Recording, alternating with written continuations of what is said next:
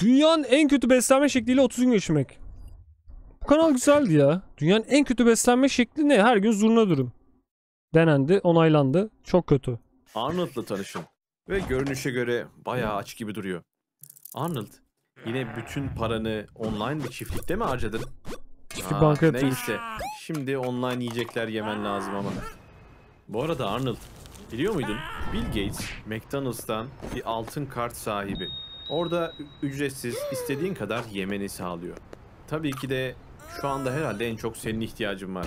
Nereden başlasak? Ee, intihar burgerini tavsiye ediyorum. Burger King'den. Her gün burger mi 4 yiyor? tane köfte, 4 tane de peynir var. Ve pastırma. Abi 800 Windows kalori. etkinleştirin yazısından anahtar almadan nasıl kurtulabilirim anahtar çok pahalı çünkü. Nasıl çok pahalı? oğlum? 10 lira lan Windows Hunter. Ben ikinci bilgisayar işte- 10, 20 lira falan E, yani. Mikey D'nin patates kızartması. İçinde 19 tane gizli içerik var. Arnold ye bakalım. Bir tane burger 100 tane farklı inekten parçalar içeriyor olabilir. Fast food endüstrisinde yıllık neredeyse 50 milyondan fazla inek öldürülür. Bitirmedim hala. Biraz bir şeyler iç o zaman. Burada ücretsiz. Çünkü Okey. senin iştahını arttırıyor.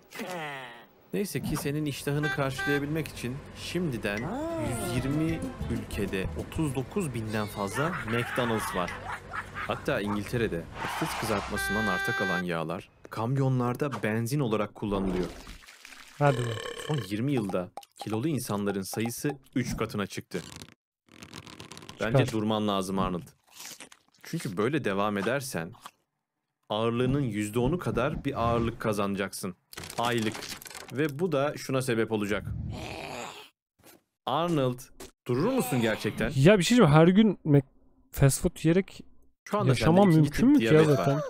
Depresyondasın. Gerçi evet. Ve yaşa, ya, var. Damarların tamamen yağla dolu. Bu çok rahat kalp krizine sebep olabilir. Fast foodlarda genelde çok yüksek kaloriler vardır. Ve vitamin ve mineral açısından da pek zengin değillerdir. Benim tavsiyem şu an hemen acil bir şekilde evde yapabileceğin sağlıklı yemeklere geçmen. Bu bitti artık. Çok kolay gelsin. büyük bir derdin var dostum. İşte böyle. Bu akşam Olursun. seni akşam Hamza. yemeğinde ziyaret etsem nasıl olur? Olamaz. Arnold. sen Ne yiyorsun yaptın lan böyle? Ne oluyor Bu lan? yemekler de ne? Çikolatalı karamelli kek. Bu yani. Benim kastettiğim bu değildi. Bu fast food yememek değil dostum. Herhangi bir şekilde yüksek kaloriden kaçınman lazım. Ve şu anda çok fazla yiyorsun. Arnold ne iyi moderatördür yalnız ha. Sağlam bir mod yani böyle Reddit'te falan hiç post geçirmez yani o pozisyonda. Helal olsun. Eline ayağına sağlık gerçekten. Hala olmuyor musun?